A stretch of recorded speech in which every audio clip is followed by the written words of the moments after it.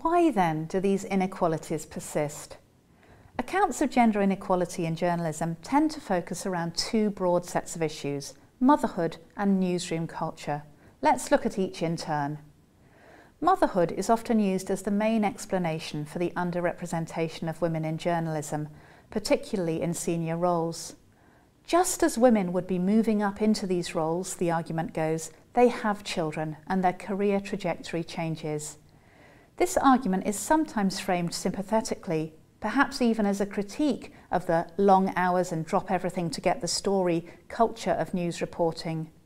Journalism can be framed as a hostile environment for women with children. There is, after all, no childcare for women who need to be at the news desk from 5am or getting on a plane at a moment's notice.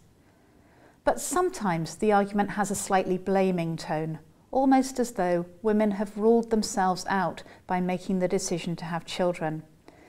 Women journalists with children can all too easily find themselves presented as less committed. These arguments are heard widely, but are rarely targeted at men. Men are not asked who's looking after their children. More importantly, in planning their careers, they rarely have to make sacrifices in the ways demanded of women. Here's Glenda Cooper talking about how her own career changed when she became a mother. I was a journalist. I was working um, both as a you know a parachute feature writer, so I was get, traveling all around the world, and then I was um, became a features editor, which involved working very long hours. You know, 8:30 in the morning till probably nine o'clock at night. And so, what did I do when I had children? I did that classic thing.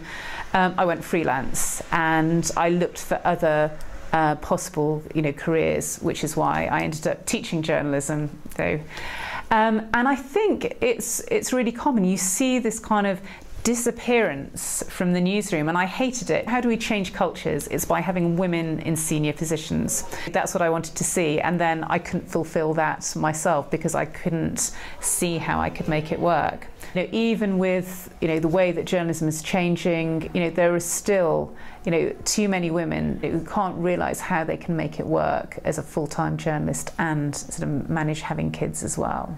There is, as many have argued, a motherhood penalty in journalism and alongside it a fatherhood premium. So not only do women fare worse when they become mothers, but fathers actually get a career boost. Yet the reality is that most women in journalism are not mothers, whether by choice or precisely because of the difficulty of combining motherhood with a successful journalistic career motherhood may have become a politically palatable or expedient way of accounting for gender inequality in the profession, but perhaps it hides a deeper sexism.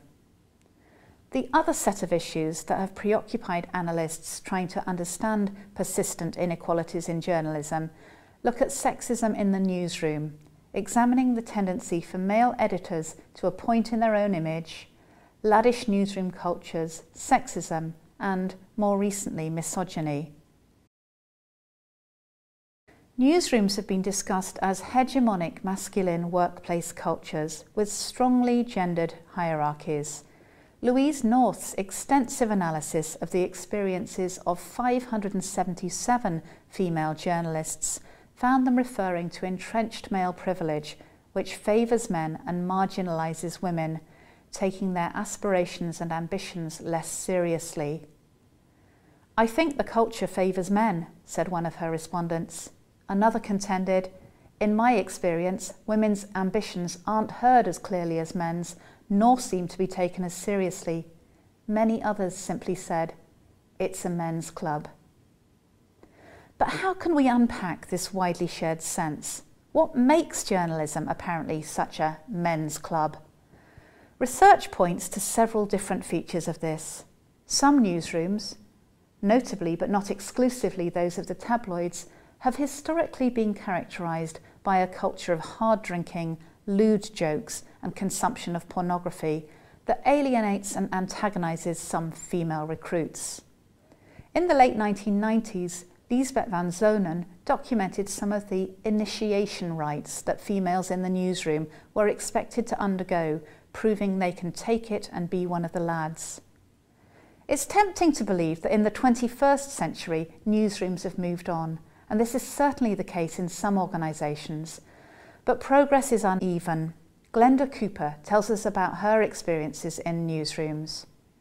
I think the thing for women when they go into a newsroom is that if you go into a newsroom when you're a young woman, it can seem quite a hospitable place in some ways because a lot of women do very well early on in their career. We see a lot of women going into the newsrooms, and you know it's an exciting job. You're young. You're like sort of you're doing uh, the kind of job that no one else is doing, and so what I think is interesting is obviously when I was working in both mid market and quality, you know, the kind of things you talk about, the banter, the kind of the drinking, the competitiveness was all there. But you kind of absorb that as a young woman, I think. And when you really come up against it, when you realise that um, these are difficult places to be, is when you're that bit older, when you realise that there are not the women in senior management um, positions, you realise that maybe you're not earning as much as uh, men, and you kind of see them go past you. And I think that was what uh, really struck me. Um, it's easy to talk, as I say, about.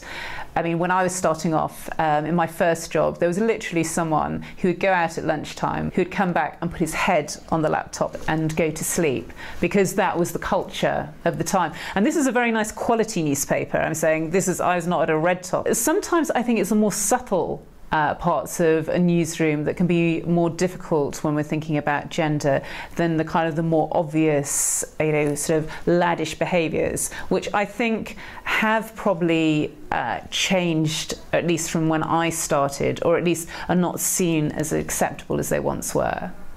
Humour or banter plays a key role in this reinforcement of inequality. Sometimes women join in, trying to be one of the lads. Joking could take on a competitive quality as one of North's interviewees describes, with everyone trying to speak over and outdo the others to generate a withering put down or a witty punchline. Sometimes women are told to toughen up or give as good as they get.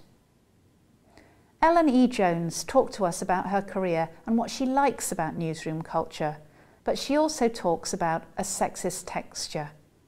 It's more in the general sexist texture of media as a whole that um, can actually, although it seems like this big amorphous thing, can have, I've found can be quite personally upsetting. And, and so, for instance, um, I worked at a men's magazine when I first graduated from um, journalism college, and um, uh, and the, the, reason I chose to work at Men's Magazine was a kind of internalized sexism in that I knew that I wouldn't be able to write about the things that interested me, which were kind of film and politics and just, you know, that kind of stuff at a women's magazine because it seemed to me that they were all about eyeshadow and orgasms. And if I wanted to write about that other stuff, I would have to go to a men's magazine. So I did. And I got to write about stuff that I was interested in, which was great. But there was also this sort of just everyday sexism, to borrow a phrase, that, that like dismissal of women. So I remember one thing that stuck in my mind was um, they had like an interview with a big footballer. I can't remember what his name was, but he wasn't a particularly bright footballer. Um, and they'd asked him about the Israeli-Palestinian conflict and his thoughts on, you know, whatever the, the hot political topic of the day was. And then they also had an interview with Nigella Lawson, who is, you know, I, big favourite of mine. I think she's an incredibly intelligent, interesting woman. And the pull quote on that feature was was like, "How do you feel about wearing stockings and suspenders, or do you enjoy wearing stockings and suspenders, or something?" And I was just, and I, I mean, saying it now, it sounds incredibly cringe, but part the worst thing about this story for me is remembering how I felt at the time, which is that it wasn't actually that outrageous, and it was just it was just like mm, it was more of a hmm moment rather than a you know, and it was only a slow build of several moments, many many moments like that, that I started to think actually this is impacting my self-esteem. It's making me feel that as a woman I have less to offer the world and the world of journalism than as a man. And then eventually I ended up leaving that magazine. Although I have to say I worked with lots of great journalists there, lots of great male journalists. I don't think they were they were even less conscious of this obviously than I was, but that doesn't mean it wasn't happening, it was happening. There are also forms of outright sexism in which women are simply judged more harshly than men. A recent example has been seen in sexist criticism of the Guardian newspaper's first female editor, Katharine Viner, which accused her of making the paper more feminised. It's worth highlighting Viner's spirited response, written under the topic editing while female.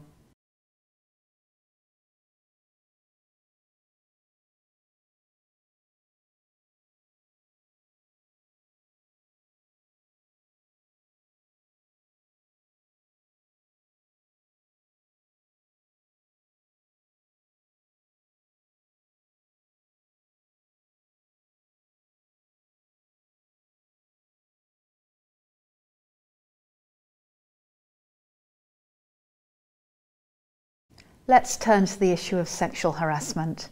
The Me Too movement has brought the issue onto news agendas across the world. From the outset, media and creative industries were at the forefront of allegations and scandals about harassment, bullying, and even sexual assault. Journalism has a paradoxical role here in that it's played a significant part in getting stories told, but at the same time, its own cultures offer some of the worst examples. What's striking about sexual harassment in journalism is its routine nature, its everydayness, it's something that runs through the industry.